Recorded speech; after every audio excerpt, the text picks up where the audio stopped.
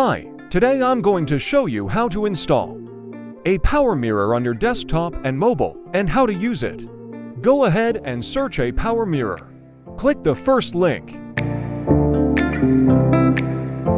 Click download now.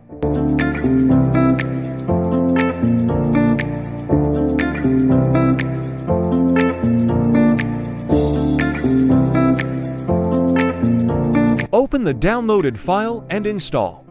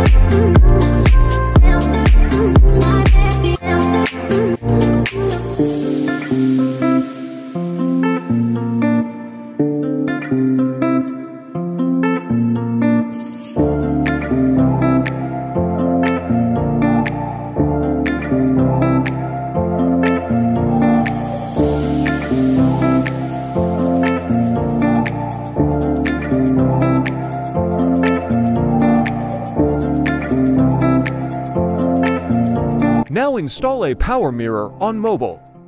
Open Play Store and type in ApowerMirror.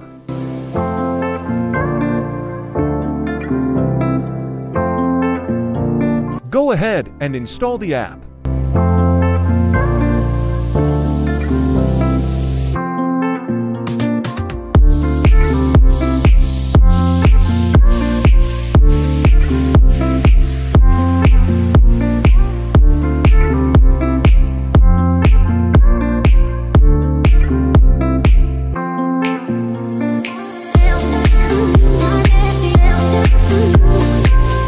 Now open ApowerMirror.